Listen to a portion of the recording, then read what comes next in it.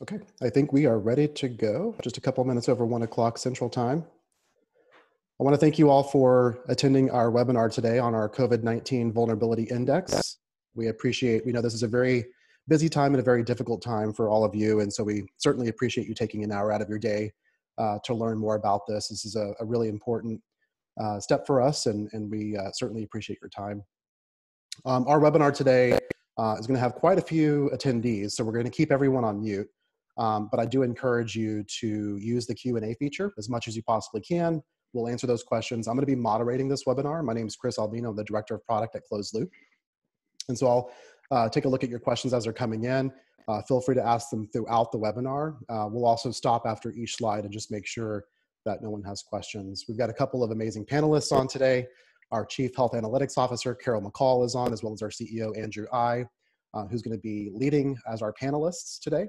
And then, again, as I mentioned, I'll be sort of moderating any questions that you have. Um, so I'm going to go ahead and hand it over to Andrew to talk a little bit about the agenda today and kick off the webinar. Thanks, Chris, uh, and thanks everyone for joining. Um, as Chris mentioned, uh, wanted to run through a quick agenda just to set the stage. Um, first, I'd like to kind of start with bios and backgrounds uh, on my Carol and myself and kind of the team behind uh, the C19 index. Um, we'll go over a little bit of the company history very briefly, um, and then get straight into the C19 index, the open source project, um, some of the available extensions uh, beyond the open source project, um, a little bit of what we've learned in terms of the risk factors that have been surfaced by this machine learning model, uh, and then we'll go into how folks are actually using this in the real world um, in care management and other use cases. Um, finally, we'll talk a little bit about deployment options and then um, how we can all help in furthering this project uh, to try and target uh, resources to the most vulnerable. So uh, a little bit of bios and backgrounds. Uh, again, my name's Andrew Eye. I'm the CEO and co-founder here at Closed Loop. Um, company's been around for about three years. Uh, prior to starting Closed Loop, I had started two other technology companies, most recently a company called Boxer that was sold to VMware back in 2015. Um, Carol McCall, who's joining us today, is the uh, brains on the call. Uh, Carol has a long history in healthcare, um, was the former CIO and VP of Innovation at Humana, uh, CIO at Vanguard. Uh, Carol's an actuary, has a master's in public health. Um, she's really going to touch on the actual predictive model, the content that we're using, and how it can be used um, in population health. Uh, our CTO is also available uh, for questions via chat. Uh, Dave DeCaprio is a 15 year veteran of the healthcare analytics space uh, came from the Human Genome Project and MIT at the Broad Institute. Um, and just a bit more context on the company. Um, this is all that we do. Uh, predictive analytics for healthcare and machine learning in healthcare is literally the only thing that we do. Um, most recently, we were announced as one of the top 25 finalists for the CMS AI for Outcomes Challenge. Um, that work, as well as kind of our overall platform, really put us in a position to be able to act quickly in building predictive models uh, specific to COVID 19. So very briefly on the company, uh, we like to refer to Closed Loop as healthcare's data science platform. Really, that comes down to two core pillars of technology. The first is a machine learning automation platform built specifically and only for healthcare. Um, you can think of that machine learning automation platform as a workbench for data scientists, um, specifically in healthcare to build new predictive models better, faster, cheaper. Dave, our CTO, likes to say we spent three years building a platform so that we could build a COVID 19 model in a weekend. Um, that really is how this played out for us. Uh, in addition to that machine learning automation platform, we have a catalog of off the shelf models for common healthcare use cases. So the only work that we do is around things like predicting admissions, utilization, ED utilization, and so forth, only in the healthcare vertical. So I want to get right to what the COVID-19 vulnerability index is and just a kind of high level overview of what this product or tool is, um, how it's being used, and so forth. So first, let's talk about what the COVID-19 vulnerability index is and what it's not. Um, this C19 vulnerability index is a predictive model, uh, a machine learning model that predicts or identifies people who have a heightened vulnerability to severe complications resulting from COVID-19. What we're specifically not predicting is who's going to catch COVID-19, where the virus is going to spread, um, capacity planning for hospitals. There are specific models um, that are out there and folks that are focused on those problems.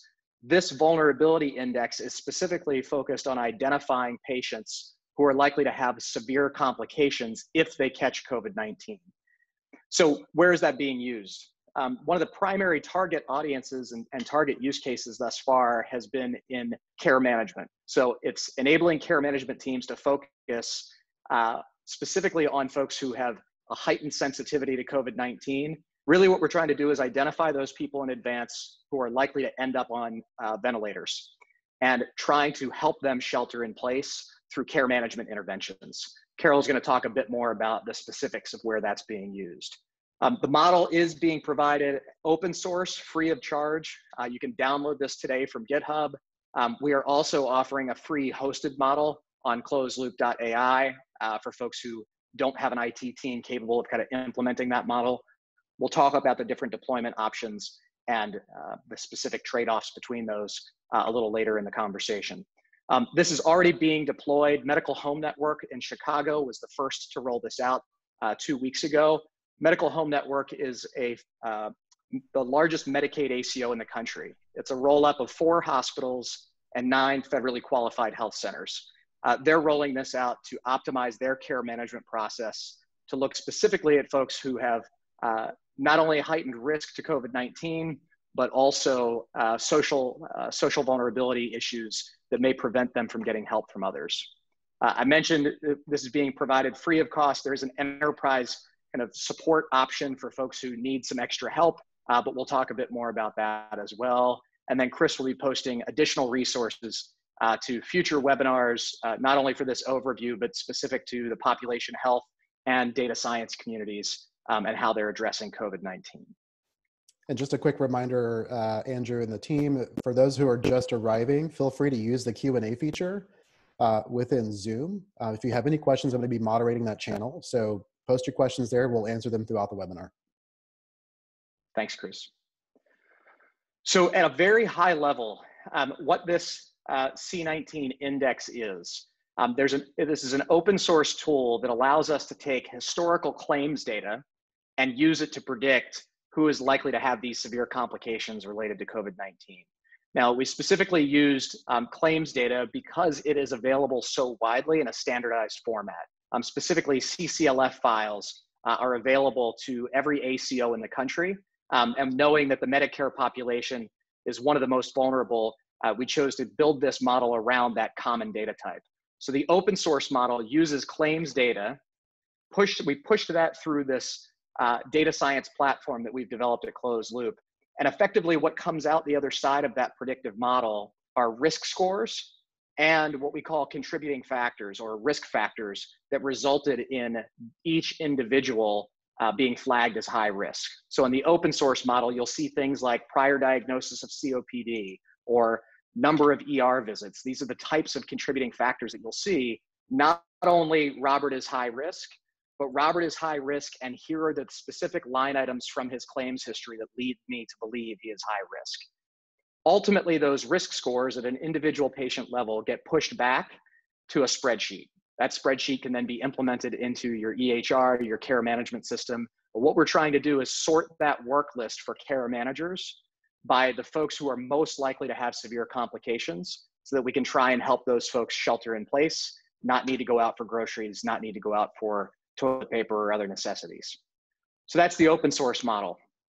Um, that model can be further extended uh, if folks decide to go with a closed loop hosted version. So the closed loop platform allows us to handle not only claims data, but electronic health record data, social determinants data, prescription claims feeds, um, health information exchange data, ADT data. All day, every day, we work with those types of data sources. We can retrain this model based on a local population and whatever data sources are available to a given organization. So I mentioned Medical Home Network as an example.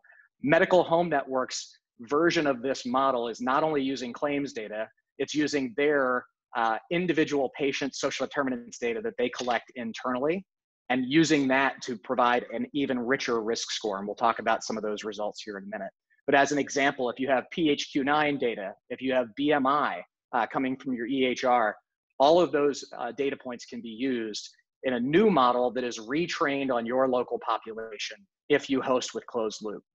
And that can be directly integrated back to your workflow systems, uh, your EHR, your care management system, in order to prioritize work directly where uh, your care management teams or clinical staff are working every day.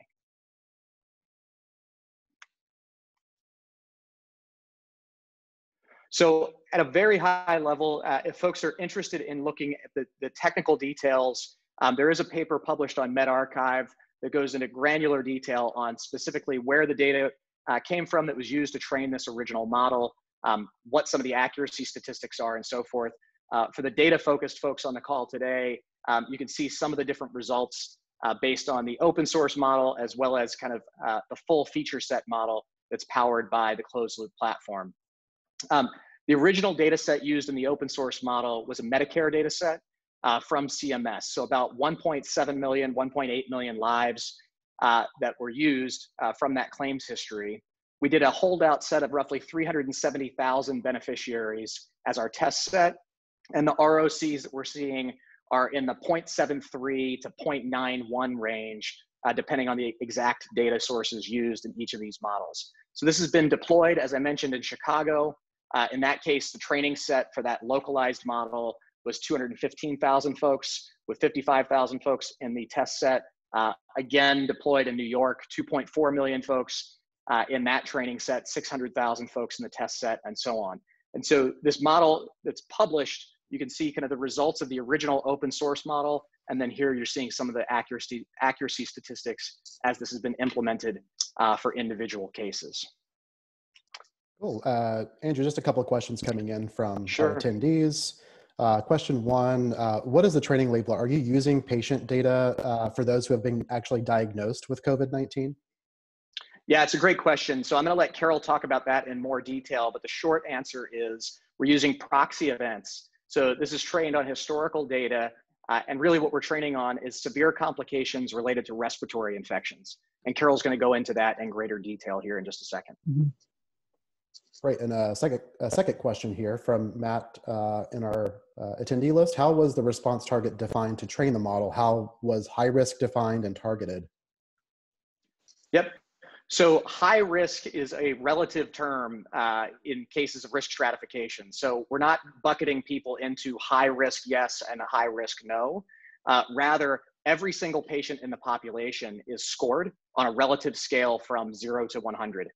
Um, and so what we're providing in the, uh, in the ultimate risk stratification is if you're gonna make one phone call, if you're gonna do one intervention, here's the most at-risk person in the entire population and that goes all the way from the 100th percentile all the way down to the the uh, one one percent, the one percentile. One, that's right. Great questions. Other questions? Thanks, Andrew. Hey. I'm going to turn this over to Carol and let her talk a bit more about the, the specific predicted outcome. Right. Um, thank you, Andrew. So before we get started, I like Chris, I want to just thank everybody for taking the time to to take an hour out of their day. We know that everybody's busy fighting COVID, and we know that everybody's concerned about family and friends. And and it's interesting. I remember listening to the news, and somebody said, "Every day you're going to wake up to a new world. Things are changing that fast." And with any luck, uh, we're hoping that today's going to be the day that you say, "Hey, today I found a new tool that we can use in this fight against COVID." So for us, that would be the the great thing to come out of this um, this webinar for us. So uh, back to the predicted outcomes. Clearly, as Andrew said, we don't have data on people that have been infected with the, the coronavirus. Um, but it is a virus. And because of that, it's going to share some similarities with other viruses that have known biological mechanisms and known pathophysiologies. And we've used that to identify what we call close proxy events. And so that's what the vulnerability index is predicting right now. So um, in terms of choosing those proxy events, we set out several criteria that had to be satisfied. And the first one is that it needed to be consistent with what the COVID infection was, which is to say it's a respiratory infection. It also needed to be supported by WHO guidelines and also the research um, that was coming out, some early studies uh, coming out of China um, on what COVID's impacts actually are.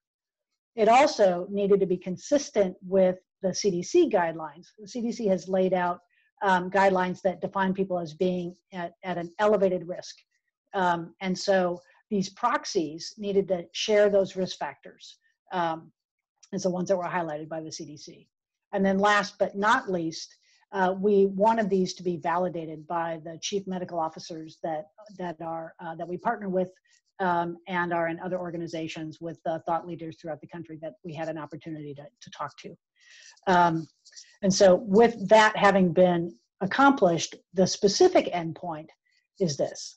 We are looking for an admission to a hospital or an intensive care unit within a short period of time, in this case 90 days, for someone that has a primary diagnosis of pneumonia, influenza, acute bronchitis, or other respiratory infections.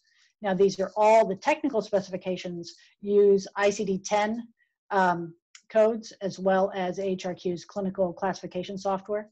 And so for the, you know, the geeks in the crowd, um, the health informatics folks, the CCSRs are specifically, they are RSP 002, 3, 5, and 6.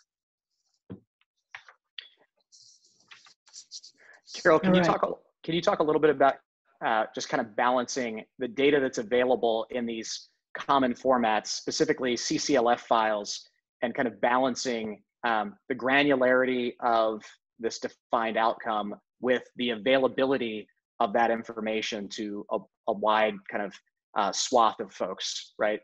Uh, specifically, that this kind of type of data is readily available in those CCLF files. Right. So, um, so to Andrew's point earlier about choosing to use claims here, um, claims is for all of the the fuss and muss that everybody makes out of it. It is it is a common denominator across a number of, of different organizations, and specifically, C, um, CMS makes available uh, claims data in a common format, these CCLF formats that that are shipped literally monthly to ACOs that are in these uh, Medicare shared savings programs throughout the country. And what that means is, is that with models that are built to take that in and using the, the common semantics and ontologies that have been built into the platform, we are able to immediately take those in and return back um, in these spreadsheets that Andrew mentioned, the scores, because they use the, this common language.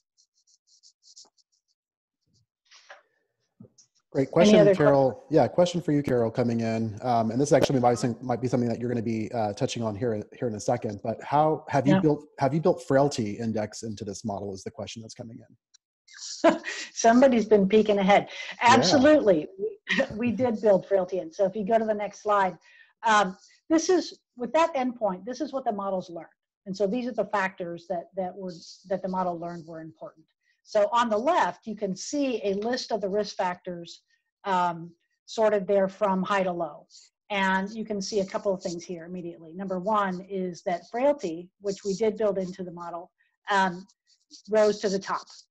And the percentage that you see is the relative contribution that each of these factors makes um, to the prediction. Now, this particular list is at a population average and so what it's doing is it's taking all of the different contributing factors um, across all of the people for whom predictions were made, and it's saying on average, what was the importance of that factor um, to a prediction? And an individual could have a different list of factors for any individual person. Maybe diagnosis of COPD was the most important for them, or perhaps um, a diagnosis of blood and blood, you know, um, forming organs. That was the most important. But for the population, this is the list. Um, the green that's shown here uh, means that it's consistent with a factor that was highlighted by the CDC. So from our perspective, when we first looked at this, uh, lots of green meant good. And it meant that our choice of a proxy um, was a strong one with respect to identifying shared factors that were highlighted by the CDC.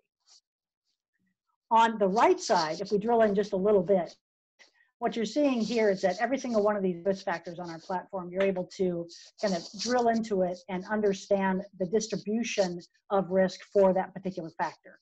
The one on the top here is age. And so age is one of those that we expect to see. It's the same as the CDC is kind of highlighting that. Um, and you can see that the risk here rises with age.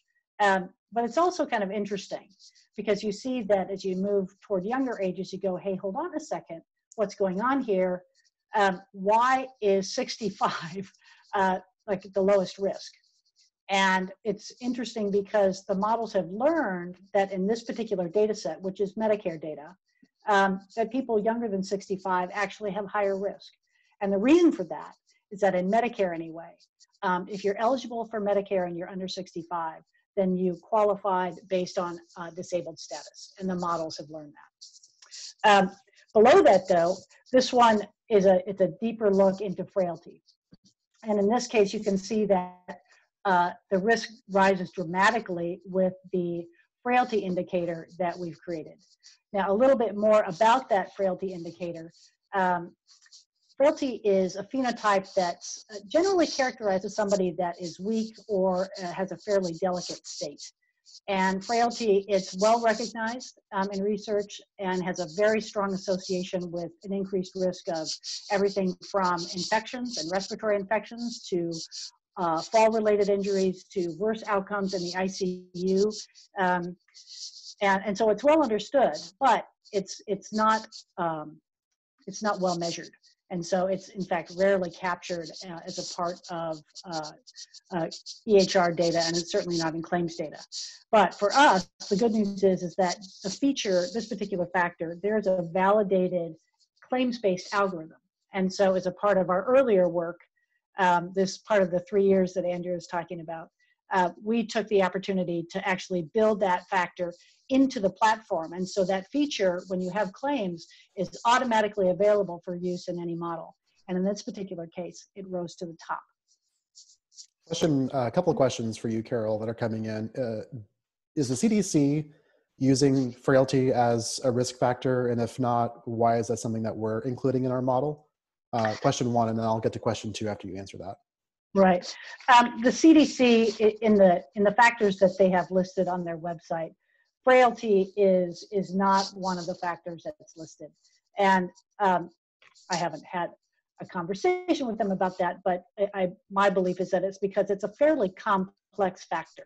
Mm-hmm. Um, and it would be difficult for somebody to look at the website and kind of go, okay, so am I frail? Am I not frail?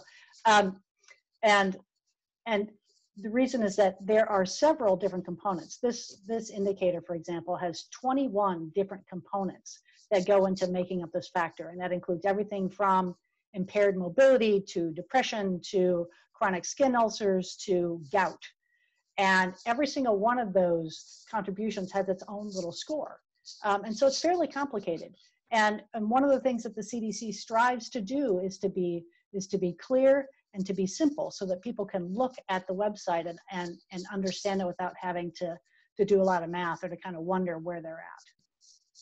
Great. Uh, a couple of other questions coming in from our uh, attendees. Anthony says, what is the specific clinical activity that takes place for patients who have a high risk index? A specific clinical activity. So yeah. uh, I guess help Carol, me understand.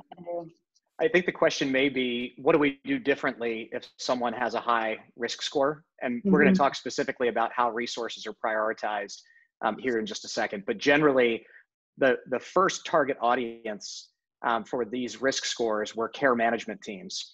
Um, for folks who may be outside of the clinical realm, um, care management teams are folks who uh, every day work in a, uh, large populations to identify patients who are at risk for adverse events in general. So, uh, population health groups or care management teams might reach out to people who are just discharged from the hospital, find those who are most vulnerable for a readmission, and do things like home site visits uh, to try and prevent those readmissions. They may also be involved in chronic disease management, um, trying to predict who's most likely to have uh, an advancement in the progression of their uh, chronic diseases, and they'll enroll them in chronic disease management programs. In this case, those care management teams across the country from both payers and providers are being repurposed to educate the most vulnerable as to how to stay safe and how to shelter in place. So the specific clinical activity is care managers calling on the most vulnerable people, educating them, and trying to mobilize resources such that they can shelter in place. And Carol will talk more about those specific intervention programs that we're seeing from population health groups in just a second. Right. Yep. And uh, question coming in from Kara as well uh, around the frailty uh, indicator. Mm-hmm. what what frailty model are we using to calculate the frailty indicator? Can you talk a little bit about that, Carol? You mean the the actual specific index that's being used? Mm-hmm.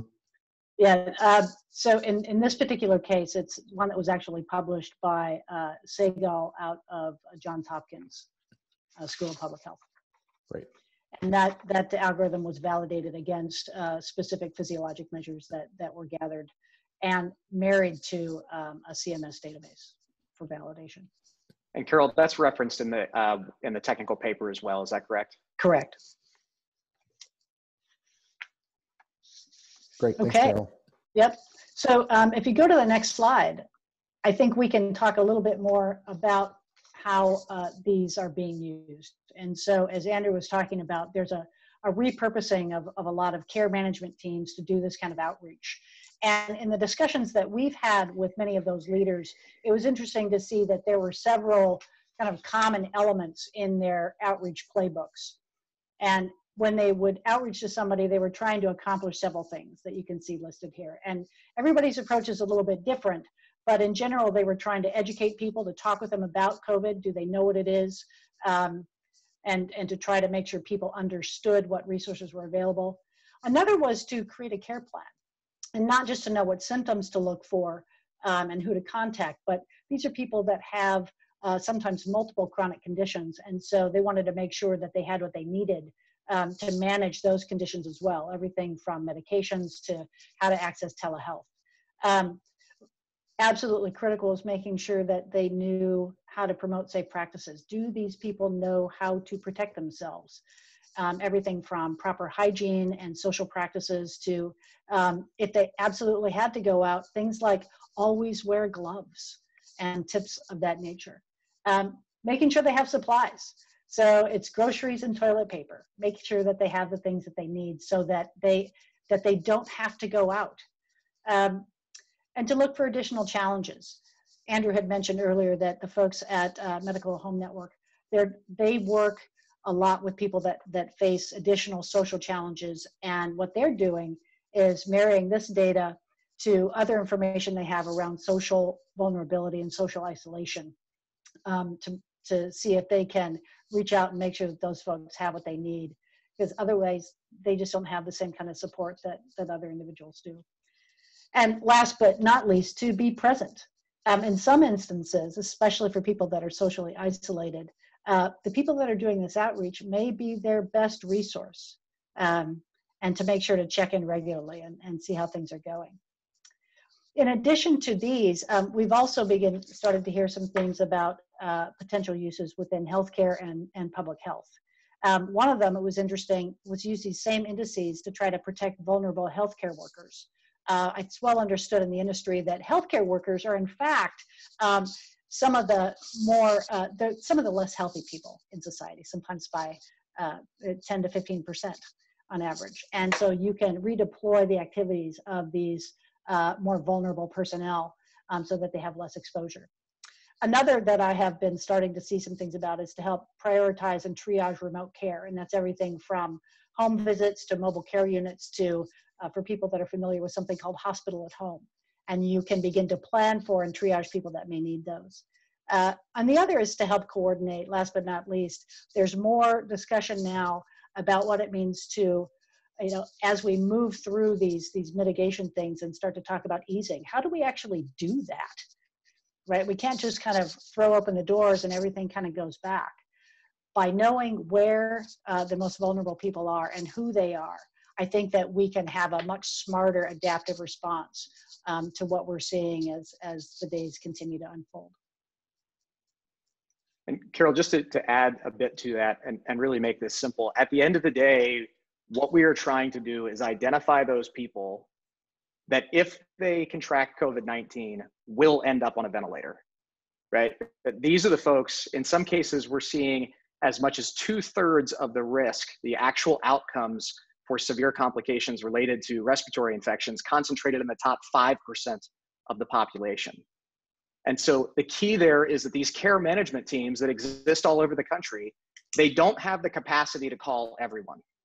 And the key is these types of interventions can be applied more directly, more specifically to that top three to 5% where so much of the risk is concentrated. You know, and I think a lot of times it, folks think that, well, you know, isn't everybody getting the word? Isn't everybody hearing this nonstop on TV? And the answer is these folks who are chronically ill, these folks who are predisposed, they need extra hand holding. They need extra attention to say, do you specifically understand these instructions? Do you know what you're supposed to do?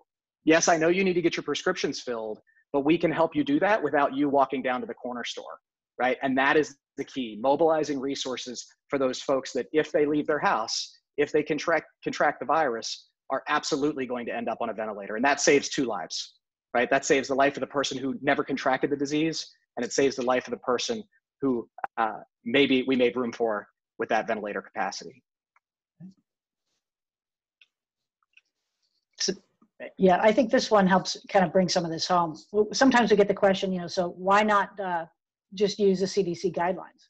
And the answer is that they're just far too broad. It's not that they're wrong, um, but but we need much more precision to do the types of things that we're talking about. So what you see here in this this simple pie chart is are the CDC guidelines, and um, you see that 41% of people, if you look at the Medicare population, um, 59% satisfy their guidelines and meet one or more of their criteria, 41% do not. In that 59% of people that are defined as having elevated risk, that is a huge number. That is almost 39 million people that have been identified by these criteria as saying you have elevated risk, right? But it says no more than that. It, it fails to identify within that 39 million people who are the most vulnerable and leaves people leaves everyone trying to help in the position of saying, well, now I've got to just call them all. And with a finite capacity and a limited amount of time, it just simply can't be done.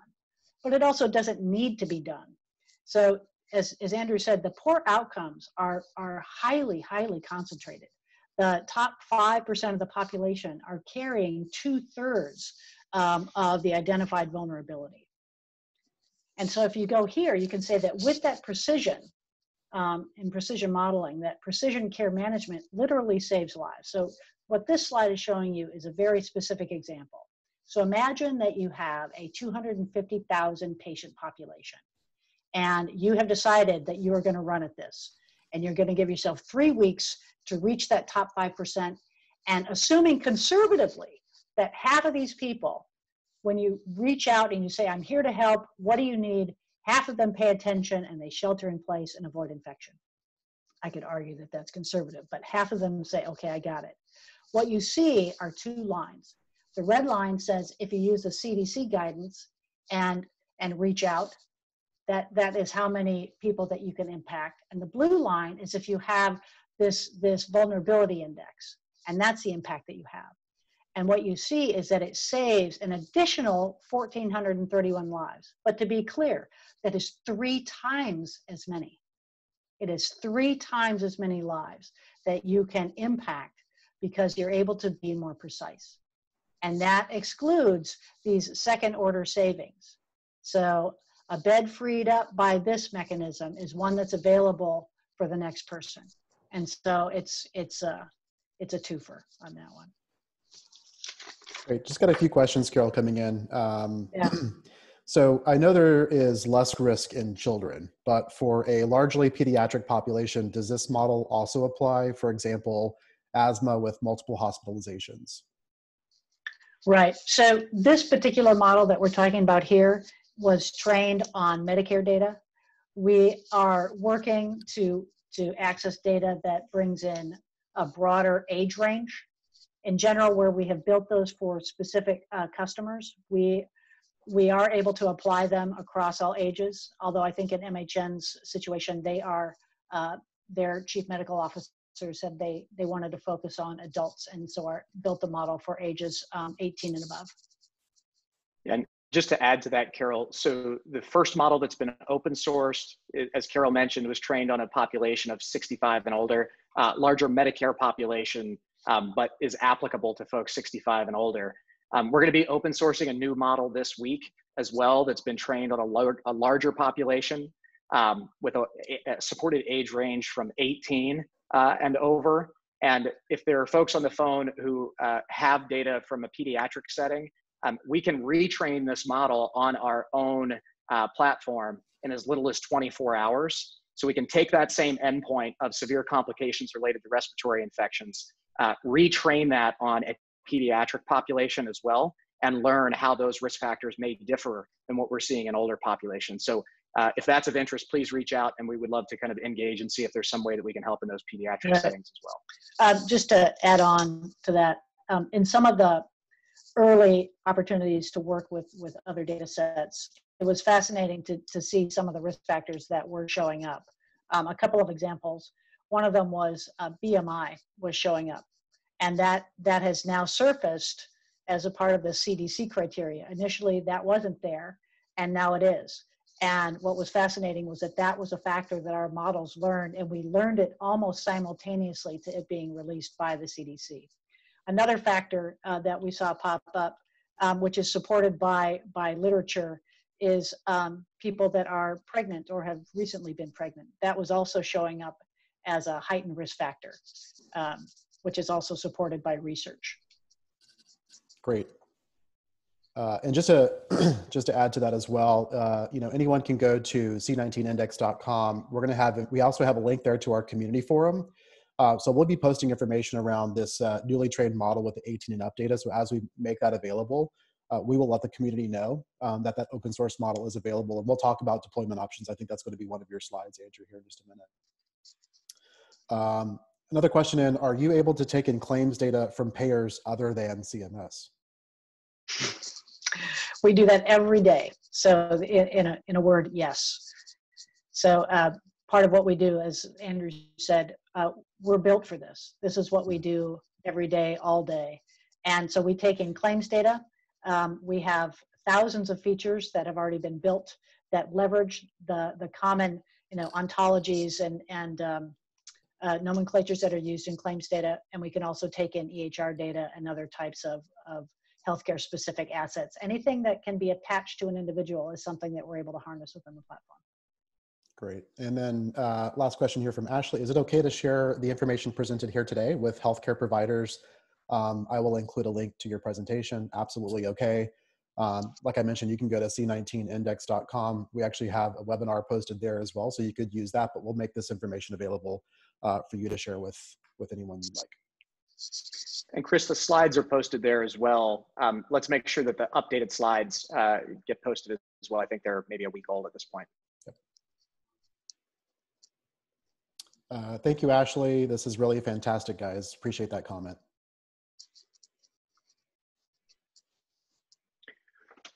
So I want to talk a little bit about deployment options. Um, so really three ways that you can roll out this predictive model uh, and use it in your own population. Uh, the first is the open source model. Um, so that's available on GitHub. You can download it. You can see exactly how uh, that model works. You can take it, run with it, roll it out in your own infrastructure. Um, we've also provided that open source model uh, through AWS, uh, through Amazon on their SageMaker platform. So if you have an Amazon account, uh, if you're on the Amazon cloud, there's a turnkey version of this ready and hosted through SageMaker, also free of charge. Um, if you need more help, uh, or if you want to extend these models further to incorporate other data streams, um, using the closed loop platform is the fastest way to do that. If you want to pull in EHR data, if you want to retrain on a local population, for example, if you want to retrain this model on a pediatric population, using the closed loop platform is going to be the fastest way to do that. Um, we're providing that free of charge as well with email and forum support. Um, so there's been quite a lot of, of uh, interest and feedback. We're trying to keep up with that in a scalable way through email and forum support. Um, that does require signing a BAA. So if you're able to sign a BAA and share that data into our HIPAA compliant cloud, um, that data is segregated, it's kept specifically for you, uh, but we do need to sign a closed loop BAA. Um, the open source version does not require a BAA. You can take that code, run with it, install it behind your own firewall. And then finally, we're offering an enterprise version of this as well.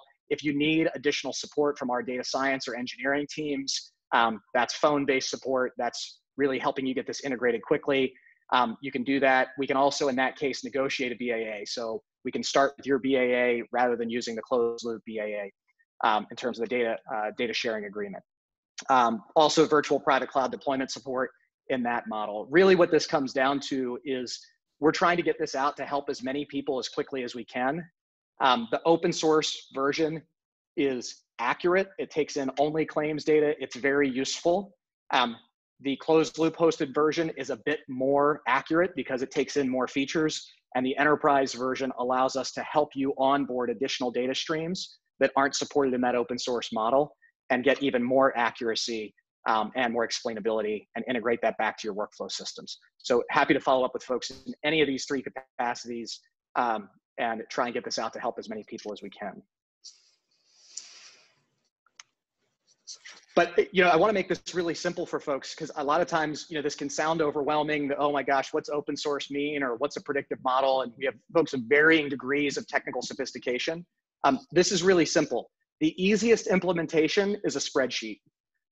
Really, what this comes down to is you're going to send data into this uh, into this algorithm. That algorithm is effectively an app or a script. The data that comes in in the simplest format is just spreadsheets. So you're going to have person information based on demographics and diagnosis history. You're going to push that into a spreadsheet. You're going to run a script, and what comes out the other side are those risk scores in a new spreadsheet. And so you're going to see not only the risk factors, but what percentile was a person in, and what were the specific factors for each individual. In this case, age or prior diagnosis of heart disease. Um, in this case, age and prior diagnosis of cancer. And so all you need, the simplest version of this is a spreadsheet. And so uh, this doesn't have to be a big IT project, and we're happy to help try and support you, whether that's directly through an enterprise relationship or through the forums, through the open source project, whatever we can do to get this out to as many folks as possible.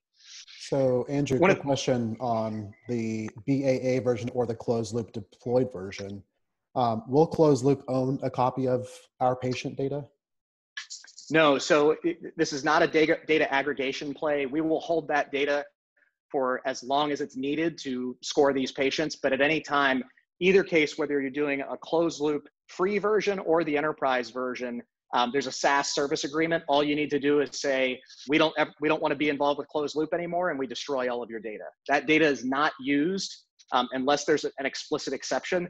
That data is not used to retrain anyone else's models. It's segregated from everyone else's models and environments, whether you're using the free version or the enterprise version.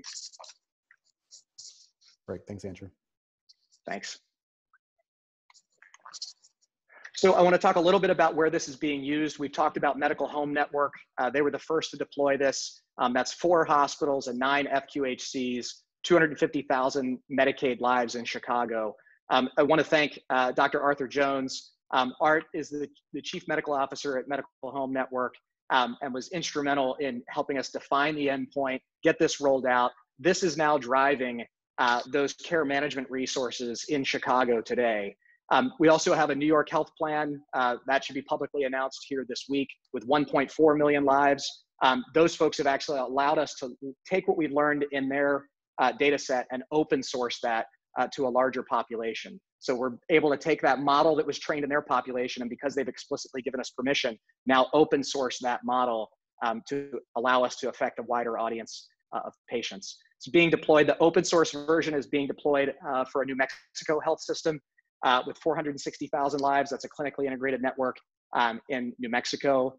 And then further, we're in testing and validation. This slide could be updated with another dozen. Um, in Florida uh, for uh, a value-based uh, ACO with 79,000 lives, two other value-based providers with 80,000 lives, um, and then further, this is being evaluated by national Medicare Advantage plans, two of the largest health plans in the country. So this has gained quite a lot of steam in quite a short period of time in just two weeks. And that is our goal, uh, to get this out to as many people as possible through any channel, whether that's open source, closed loop, free hosted, or um, that enterprise offering. So right now we're at over 2 million lives that are being actively affected by this um, just in that deployed and validation stage. So I, I want to close with just kind of how you can help uh, and where folks can jump in. We've had a lot of questions from people interested in volunteering and so forth. Um, the number one thing that people can do is try this. Um, so if you take the open source version or if you engage with closed loop, and you reach out to us, we can do a retrospective study with you very quickly and show you, we look back at those historical cases, how well would this model have predicted those severe complications related to respiratory infections in your own environments?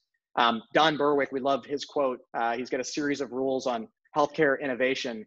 And rule number four is make early adopter activity observable.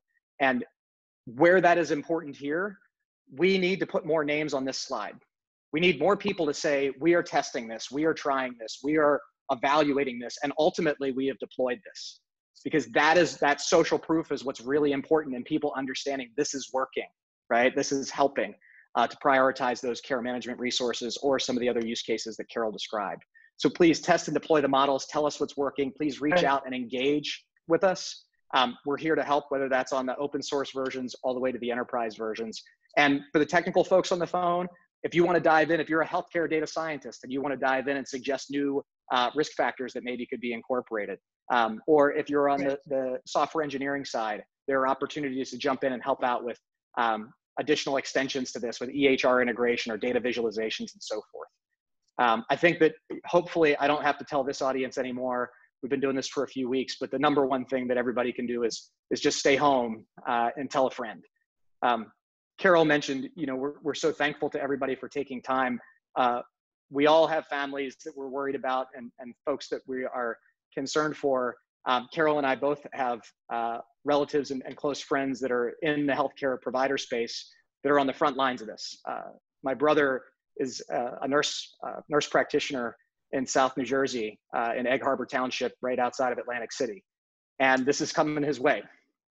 And understanding that if we can do a small part to reduce the demand on that healthcare system, if I can have fewer people showing up, I don't only save the lives of those people, right, that stayed home, that we're able to shelter in place, but I might save the life of that other person that that ventilator freed up for and we may even help impact those healthcare workers that are on the front lines that aren't overwhelmed uh, quite so much. And so, um, thank you all. And, and for those of you that are in the clinical realm, thank you personally um, for what y'all are doing to, to try and help fight this as well.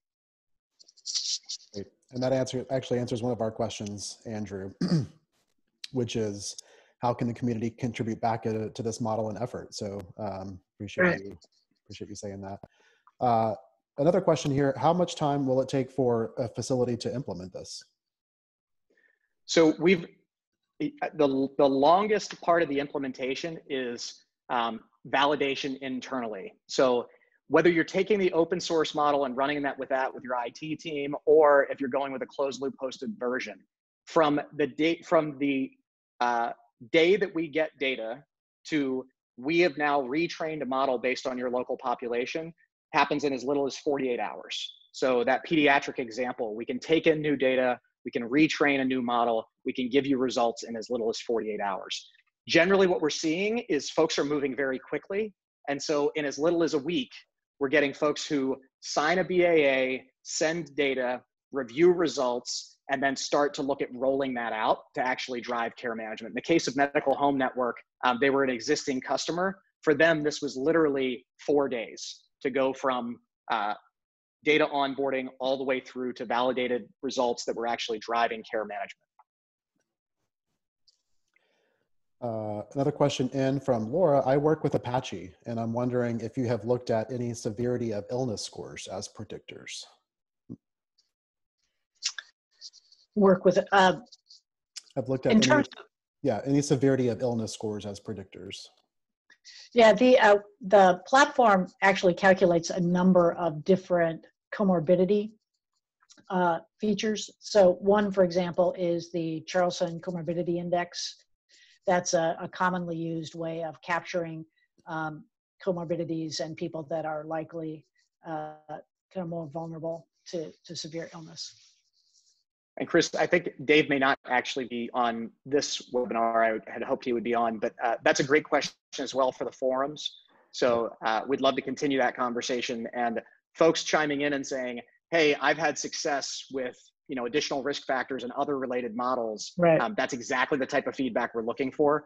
Um, so would love to continue that conversation uh, through the forum. So please reach out. And um, just as a reminder here, you can always go to c19index.com. You can, you'll actually have a link there directly to our forum, which is uh, community.closedloop.ai. So encourage the discussions to happen there for sure.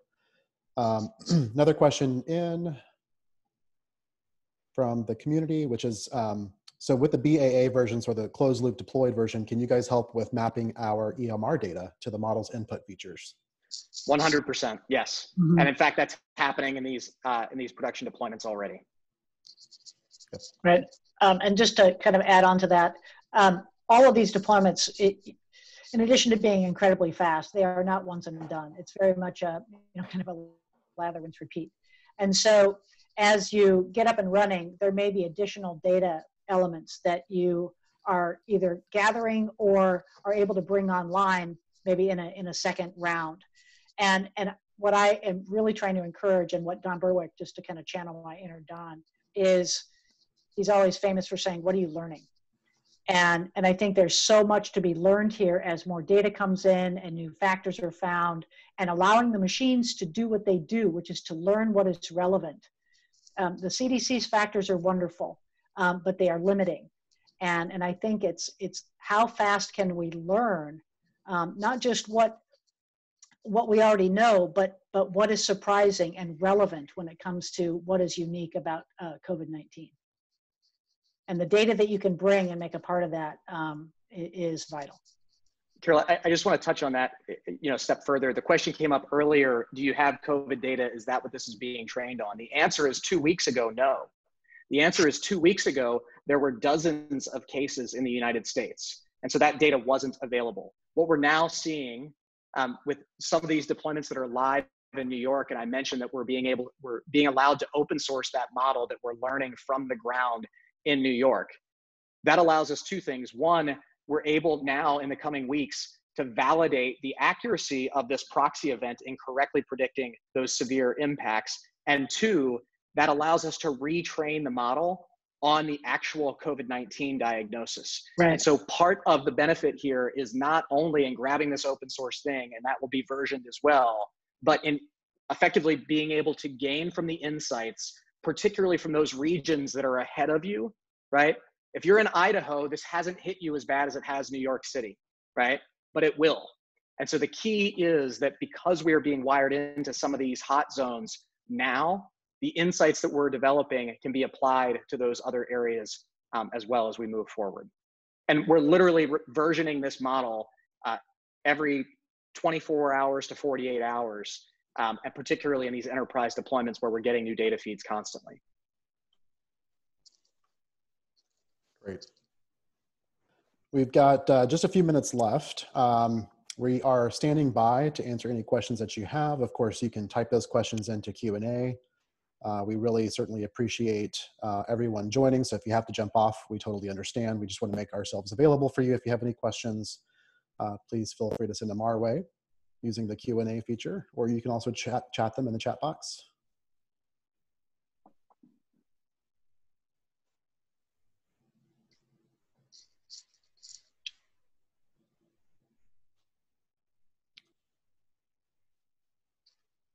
Great. Looks like we have answered everyone's questions. One last chance. And of course, you can always reach out to us. Um, we have ways to communicate with us through c19index.com. You can sign up for our newsletter there as well. Okay. Um, well, I, I know that Carol and Andrew will have uh, some closing remarks, but I just uh, wanted to take a chance to thank you again for your time today. Um, again, we know you guys are all super busy right now, and we appreciate you know all of you who are on the front lines. Um, so thanks again for uh, joining us today. We'll hand it over to Carol and Andrew to sort of sign us off.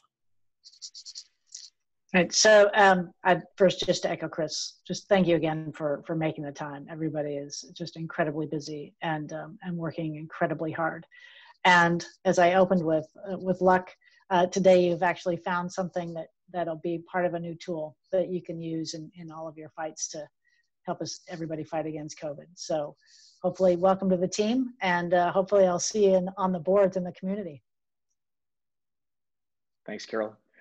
Yeah, I, will echo Carol and Chris and, and, thank everyone for their time. Um, one other closing thought uh, for folks who are thinking about other applications of this. Um, Carol touched on these briefly, um, but you know, again, uh, prioritizing which healthcare workers um, really need to be frontline versus um, not on the front lines based on their vulnerability. Uh, prioritizing resources. Um, there are many applications when you look at a population level we're focused primarily on this care management use case and trying to reduce demand on the system. But if folks have other ideas for how this may be applied or other use cases beyond just identifying the vulnerable, um, our platform is designed to pull in that data and build new predictive models very, very quickly. So if there's some other way we can be helpful, please reach out.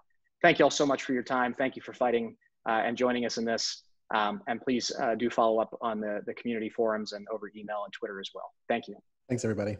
Thanks, everybody.